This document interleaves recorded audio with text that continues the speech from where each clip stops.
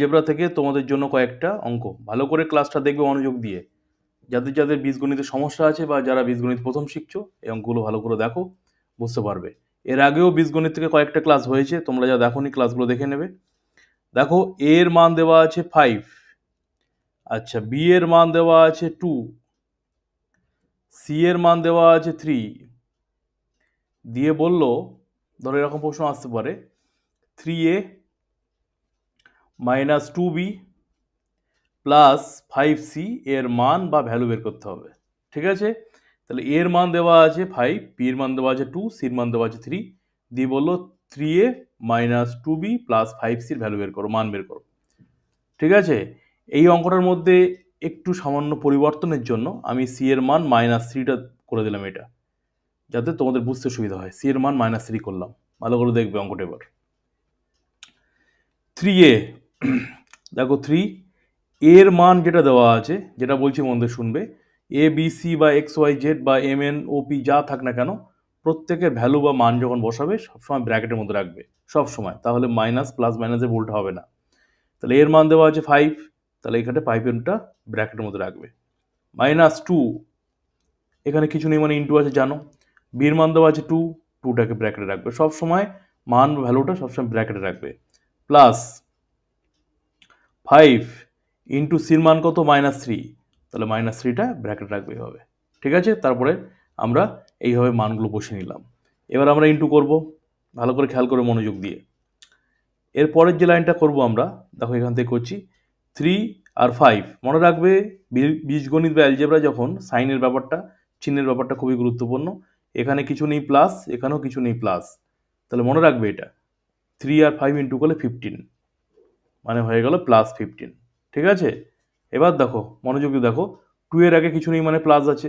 তাহলে প্লাস মাইনাসে মনে রাখবে প্লাস মাইনাসে মাইনাস টু আর টু ইন্টু করলে কি হয়? ফোর মাইনাস ফোর আচ্ছা এবার দেখো, এখানে প্লাস এখানে মাইনাস প্লাস মাইনাসে মাইনাস হয় থ্রি আর ফাইভ ইন্টু করলে কি হয়? ফিফটিন তাহলে মনে রাখবে সেম সাইন প্লাসে প্লাসে প্লাস মাইনাসে মাইনাসে প্লাস প্লাস মাইনাসে মাইনাস মাইনাস প্লাসে মাইনাস হয়। ইন্টু করার সময় ডিভাইড বা ভাগ করার সময়, আর ইন্টু বা গুণ করার সময়। তাহলে দেখো আবার বলি প্লাস প্লাসে প্লাস এ plus plus fifteen plus minus এ minus minus four plus minus এ মাইনাস থ্রি ফাইভে ফিফটিন ঠিক আছে? তাহলে এই হলো ব্যাপার।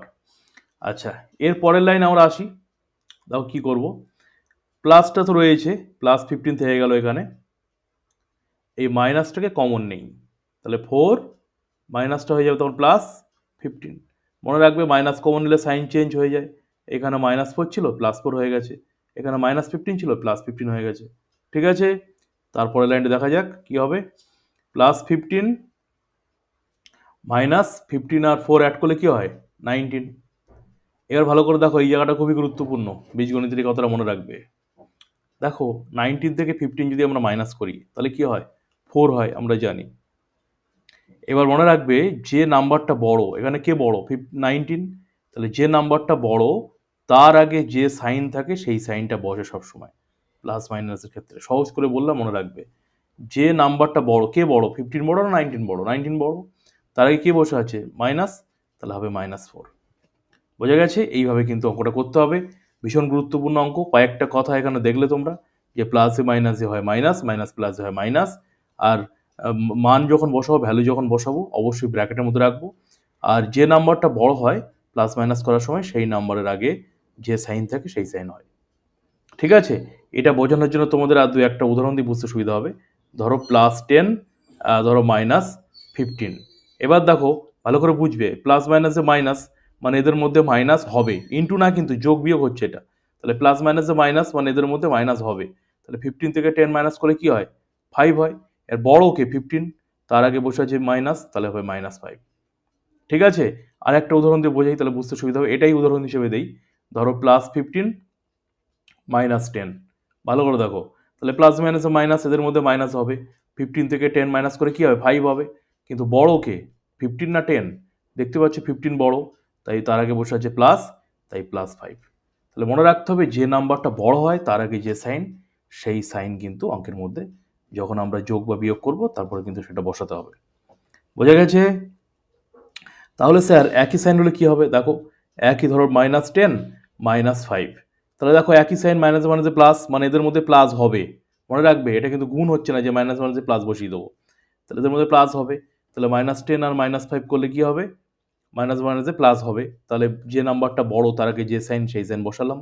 এ দেখো টেন আর ফাইভ অ্যাড করলে কি হয়? টেন আর ফাইভ অ্যাড করলে ফিফটিন তাহলে হয়ে গেল মাইনাস ফিফটিন একই সাইন সবসময় যোগ হয়, মনে রেখো। যেমনভাবে আমরা টেন প্লাস ফাইভ করি আমরা। তাহলে কি হবে? প্লাস ফিফটিন তাহলে একই সাইন থাকলে সবসময় কি হয়? মনে রাখবে একই সাইন থাকলে যোগ হবে সাইন যোগ হবে না, যেটা বড় নাম্বার সেই নাম্বারের আগে যে সাইন সেই সাইন বসবে, কিন্তু এদের মধ্যে যোগ হবে। বোঝা গেছে?